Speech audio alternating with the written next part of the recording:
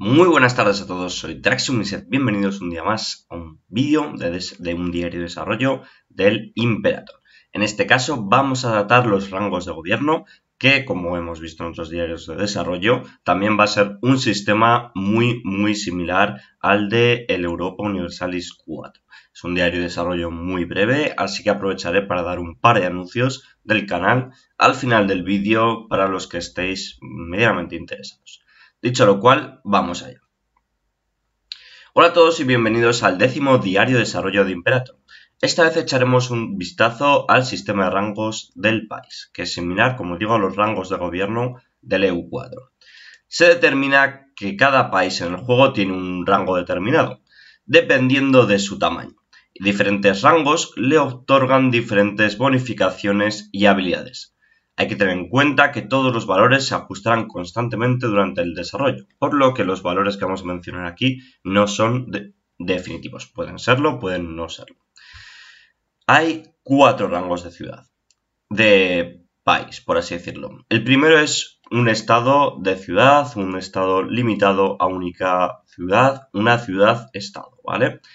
Dice, esto solo es posible si tu país tiene una única ciudad grande. Recordemos que existen varios rangos. Son ciudad, luego pasa a ser una provincia, o sea, en una provincia podemos tener varias ciudades con cada una sus poblaciones y sus distintos eh, recursos. Y por último tendríamos ya los estados. En este caso, como digo, solo es posible eh, una ciudad-estado si tenemos una ciudad. Una ciudad-estado puede ser parte de una liga defensiva y puede tener las siguientes bonificaciones. Más 20% de ingresos de comercio y más 20% de defensividad, así como una única relación diplomática. Ya vimos en el diario de desarrollo que eh, las relaciones diplomáticas van limitadas por este límite de rango de gobierno y que eso era bienvenido por unas personas y no tan bienvenido por otras. Pero bueno, en fin, el segundo rango sería el poder local, que es ya para un país que tiene al menos 10 ciudades. Pueden ser 10 ciudades, pueden ser en distintas provincias o puede ser en una única.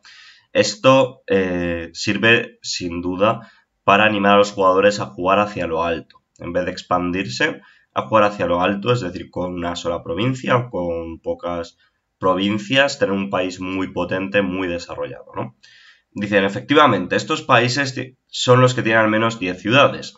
Los poderes locales pueden ser parte de las ligas defensivas y tienen los siguientes bonificadores, que es una relación diplomática más. Ya no pueden ser parte de ligas defensivas. En tercer lugar, ya sería el segundo más grande, grandes poderes, poderes mayores, poderes importantes, ¿no? Se trata de países que tienen al menos 10 ciudades. Pueden utilizar las habilidades diplomáticas, amenazar con la guerra y garantizar. Estas habilidades diplomáticas ya las conocemos del EU4 y tienen los siguientes bonificadores. 3 de relaciones diplomáticas, una ruta comercial extra en la capital y uno más de cada poder. A ver. Y uno más de cada poder para aquellos grupos de ideas que encajen con el gobierno hasta un total acumulable de 2. Es decir, si escogemos nuestras ideas en función un poco de este tipo de gobierno, tendremos uno extra de cada uno de los poderes. Recordemos que hay cuatro cada mes o cada tiempo, en principio va a ser meses supongo, hasta un total de dos extra que podemos ganar. Para expandirse y desarrollarse está muy bien. Y en tercer y en cuarto y último lugar, grandes poderes son aquellos países con al menos 20 provincias, ya no estamos hablando de ciudades, sino de provincias, que no son vasallos de otras naciones y se pueden utilizar las y que pueden utilizar las siguientes habilidades diplomáticas: intervenir en la guerra, forzar la paz, amenazar con una guerra y garantizar. Además, tienen los siguientes bonos: más 5 de relaciones diplomáticas, más 2 de rutas comerciales en la capital, y más 2 de cada poder por aquellas ideas que encajen directamente en vez de más 1 hasta un total de más 3. Es decir, podemos sacar más 3 en cada poder con este tipo de gobierno. Sería un poco similar a los consejeros del, EU4, que en función de los ingresos que tienes, te puedes llegar a permitir hasta más 3 de cada uno de los poderes en, en tu partida, ¿no? Gracias a los consejeros. Al principio de la partida solo puedes poner normalmente uno o dos de, de nivel 1 y cuando llegas a un punto de la partida te puedes permitir los tres de diplomático, administrativo y militar al nivel 3, por muy caros que sean, y seguir ganando. Y así ejerce un poco como mínimo de puntos, pese a que tu monarca sea muy bueno o muy mal. Vamos a poner esta imagen, que es la que han eh, lanzado nueva con este diario de desarrollo. Aquí podemos ver que está seleccionando el país de Egipto, esta vez me he informado un poco de qué país es el que sale, y podemos ver que efectivamente es un gran poder y le permite garantizar, intervenir, amenazar de guerra, forzar una paz, y además le da los siguientes bonus, más dos rutas comerciales en la capital y más cinco de, de relaciones diplomáticas. En fin, esto es todo realmente por el diario de desarrollo. Voy a repasar otra vez las acciones diplomáticas, por si alguien no ha jugado mucho al EU4 o está más interesado en el Imperator y lo estoy dando por hecho. Intervenir en una guerra, te puedes unir a cualquier bando de la guerra siempre que tengas una buena relación con el líder de, de ese bando de la batalla. Forzar una paz, puedes forzar una paz blanca con una nación en guerra si tienes buenas relaciones con sus enemigos. Garantizar, puedes proteger cualquier nación de un rango menor de ser atacada, dándote un casus belli en aquellos que le están atacando. Y amenazador de guerra, puedes utilizar una reclamación para demandar a una nación que eh, se, se ceda, que se extirpe una ciudad o provincia a ti para evitar una guerra costosa. Esto está muy bien porque ha sido adaptado al Imperator. Eh, ¿Cuál es la cuestión en este diario de desarrollo que ha estado discutiendo la gente al respecto en los foros? Que por lo que parece es bastante genérico el tema de las relaciones eh, de la diplomacia en toda la partida. No se adapta, por así decirlo, por zonas, no se adapta por culturas, ¿no?